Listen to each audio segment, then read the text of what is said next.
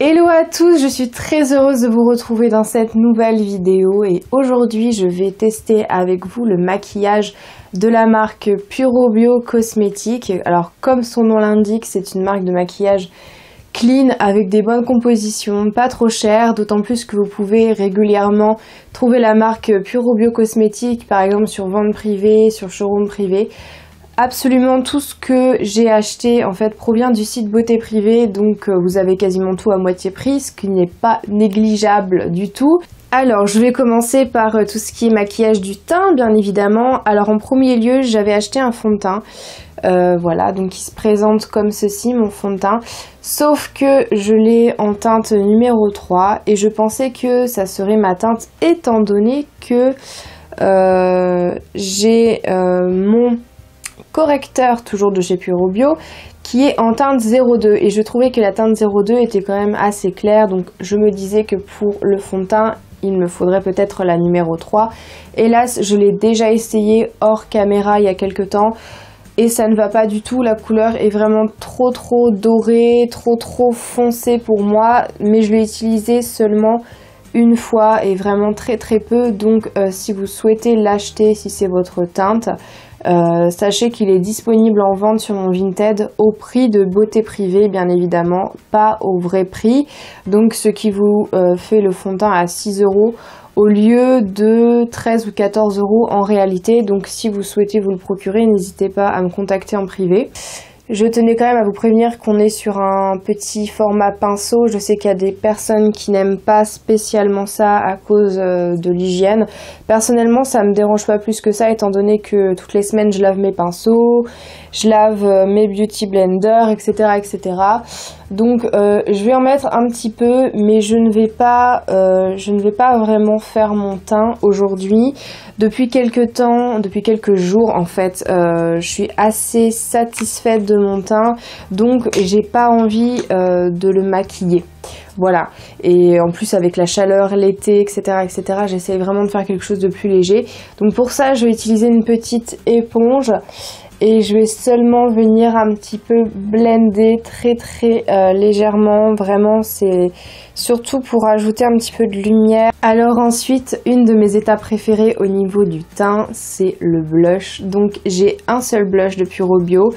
Euh, je l'ai en teinte en teinte 4 il me semble. Oui, blush 04 et c'est euh, un brick un brick mat très donc vraiment faites attention. D'ailleurs, je vais vous faire un petit swatch, vous allez voir quand même qu'on n'est pas sur de la gnognotte. Hein, voilà, donc c'est un brick mat, c'est une teinte que je n'avais absolument pas.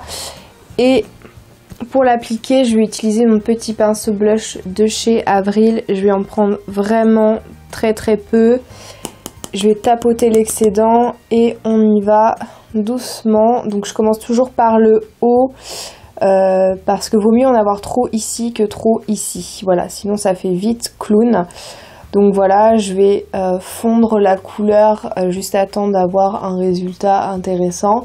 Alors, c'est un blush que je vous recommande si vous savez déjà poser un blush. Euh, si vous êtes débutant dans le maquillage du teint, je trouve que c'est quand même un blush qui est euh, très euh, pigmenté. Du coup, ça peut peut-être être un petit peu compliqué à travailler alors ensuite on va passer au maquillage des paupières et je me suis pris un petit euh, fard à paupières mono. J'ai la teinte 01 qui est un champagne. D'ailleurs elle s'appelle champagne cette teinte.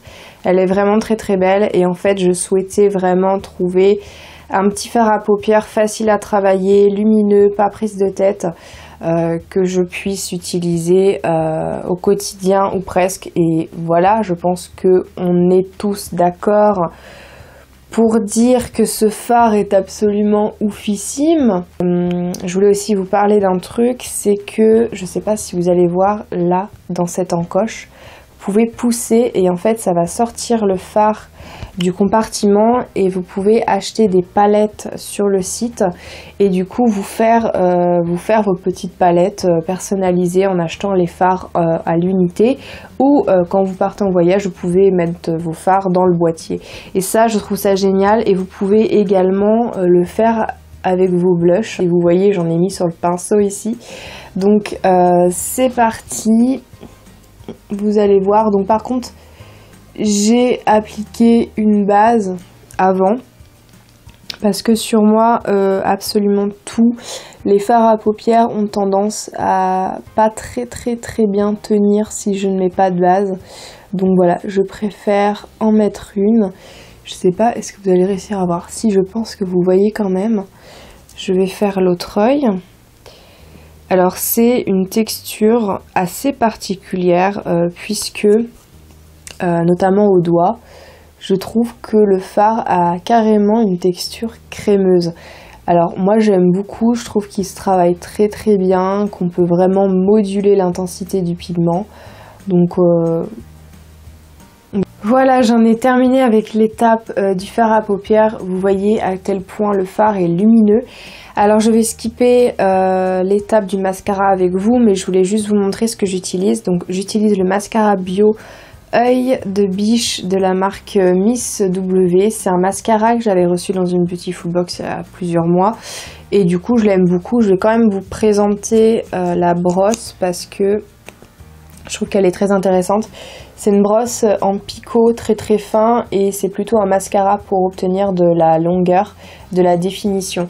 Moi, c'est ce que je recherche. Donc, euh, je vous retrouve tout de suite après l'application.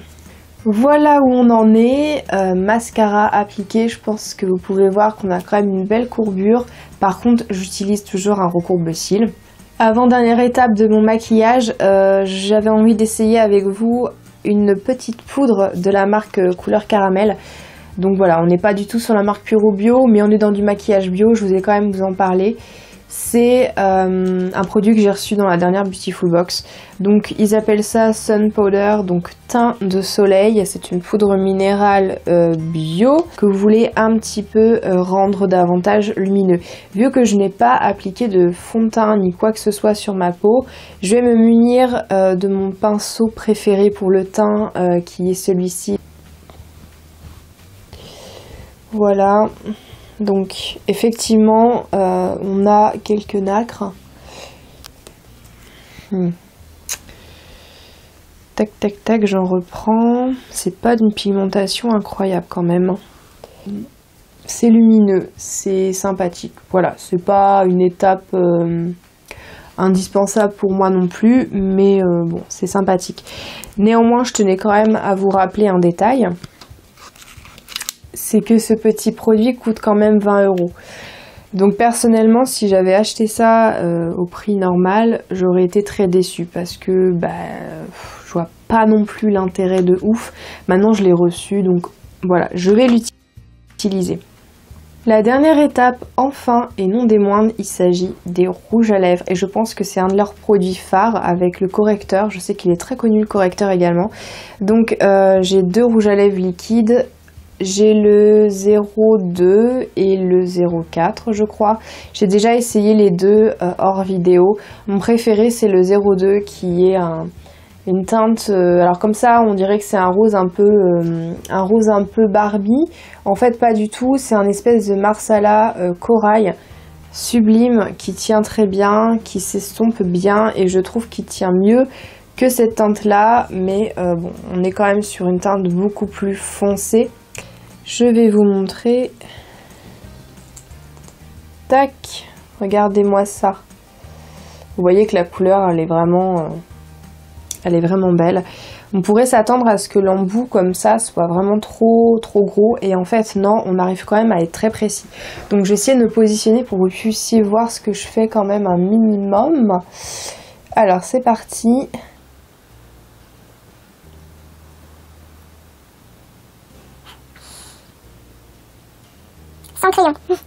C'est pas facile quand même. Hop, j'estompe.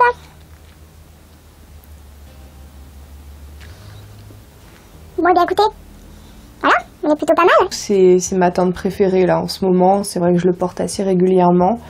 Et euh, le combo avec le fard à paupières, je trouve que ça va bien ensemble.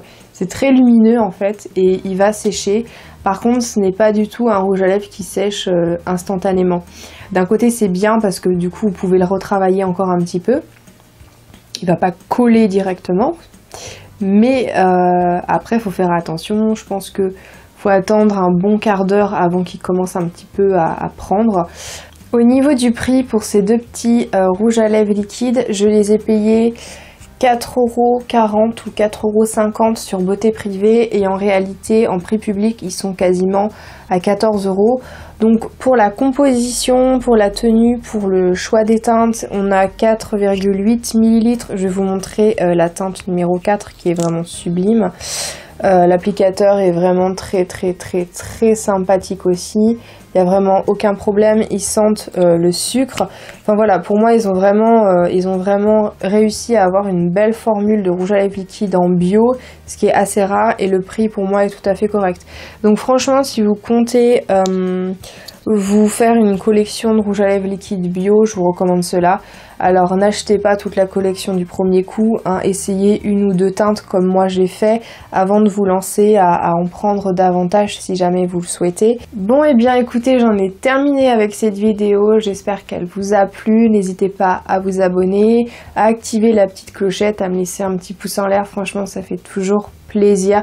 J'essaye vraiment de vous faire des vidéos avec... Euh, voilà une thématique intéressante avec euh, une qualité quand même correcte sachant que je ne peux pas faire euh, des miracles non plus étant donné que je vis dans un chantier donc c'est un petit peu compliqué pour moi de trouver un endroit sympa pour filmer. Mais bon voilà on s'en sort quand même. Toujours est-il que euh, jusqu'à une prochaine vidéo, bah, bien évidemment, prenez grand soin de vous, prenez soin de vous naturellement, en tout cas essayez, c'est toujours mieux. Ciao